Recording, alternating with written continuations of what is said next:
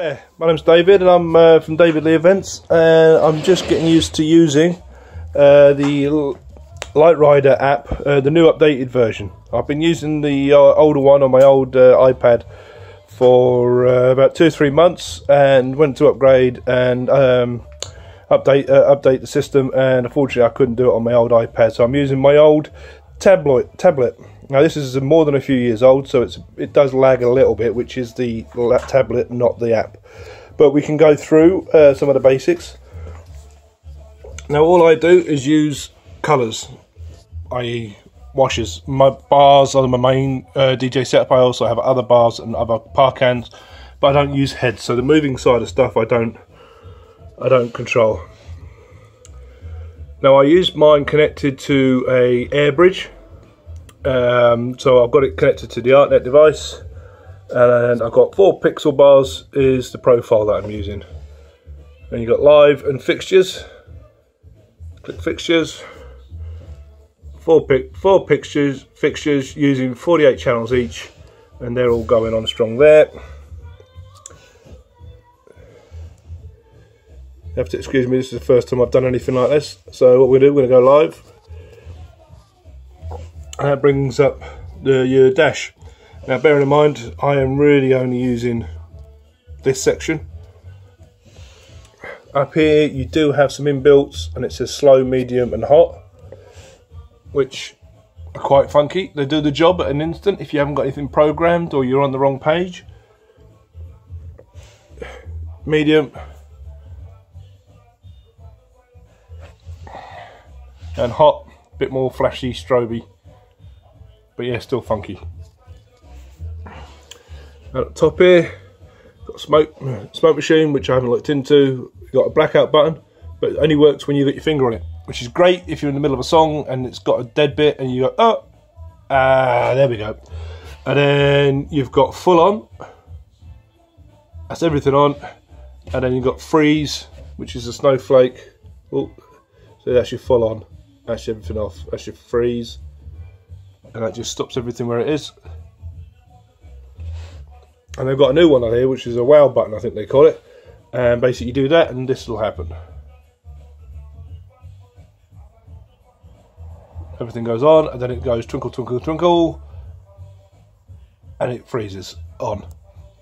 Which is quite a good little thing if you need to bring someone's attention or something. Um, with that, what I've done now I've put one on every page. Is down here. Oh, it was hard to see, but it says down here. Oh, I built a black up button. That's not it, because I'm on the wrong page. Let's try that one. So I put a blackout button, so that was doing something like that. And then I built a blackout button because sometimes you need to black out rather than just for an instant. it's nice to be able to do it, take your hand off, do whatever you've got to do, speak, whatever, and then you can just press any button, as long as it's been programmed. Unlike that one. Let's try and move over. There we go. So that's now doing a load of stuff. Woo! Okay, now a reason for that is, for example, on the home page, on my first page I should say, on the first page, when I, I'm primarily doing weddings, so for the first page, my first button is this. So I'm invited the bride and groom onto the dance floor. Everyone's making a lot of noise, hands clapping, blah, blah, blah. So I've got something like that going. Then I black out. And then we start the song. And then we've got a little twinkle going on. Now I've got the two colours set on here as pink and white. Now you can change that dead easy. So you go there. Oop try and do it look at the phone. Right. You grab your pink and you pop it in the middle. And then it's just like a white twinkle then. You so you, but you can have obviously any colours you want. You don't have to have white. Let's move one to the blue and one to the red. So you can do all that. Then when it comes down here so when you get on site you find out what colours they've got. You set your colours and then you go and you press and hold and you go save and it saves everything uh, but because we went blackout did it before the main dimmer was off. Oh.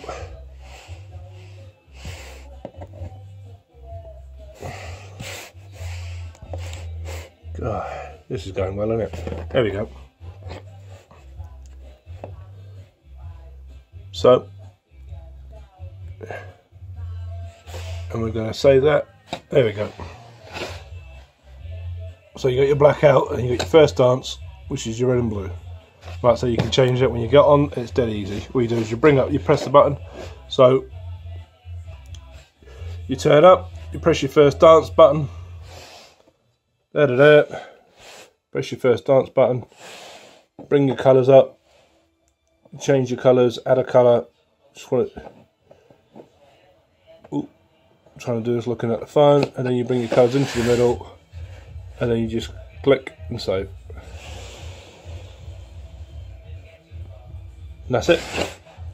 Now I've got a few slow programs built on here.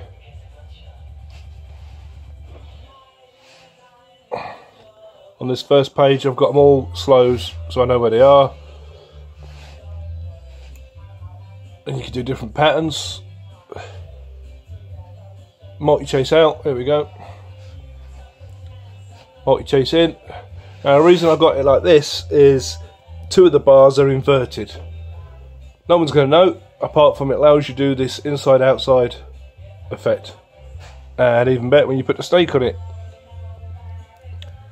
So it goes up and down, up and down. Otherwise it'd be up, and up, and up, and up. Depends on personal preference. I like the fact it goes up and down. And I got a fast one as well. All built in. Now what I've also got down the bottom here. Bum, bum, and on the last page, so the first page is all slow stuff, the last page is all stroby type effects. Various different settings allowing you to add colour, just white, full on bars, sections of bars, just allowing you to have a lot of different stroby type effects because I'm only doing weddings. It's nice to have the effect, but you don't need a full-on atomic, whatever they're called, um, to kill everyone. I'm not doing problems on 21st and 18th. So this works fine, just fine for me. And you go back to your buttons and off you go. It's a great app, absolutely great. I love it. It saves your colours, which the old old version did, doesn't. You've got inbuilts that are dead easy to use, like hot, medium, uh, was it cold? Slow, medium, and hot. There you go. Um, and it's just a great versatile DJ app, and it's free. Obviously, I'm using an AirBridge, which isn't, but I believe you can plug a USB in and connect it directly uh, to your lights. So uh, yeah, I bought the AirBridge for something else. Um, that hasn't worked, but hey, I might as well use it for this because it does. anyway, I'll leave that with you. If you've got any questions, feel free to ask, and uh, I'll see what I can do. All right, cheers. David out.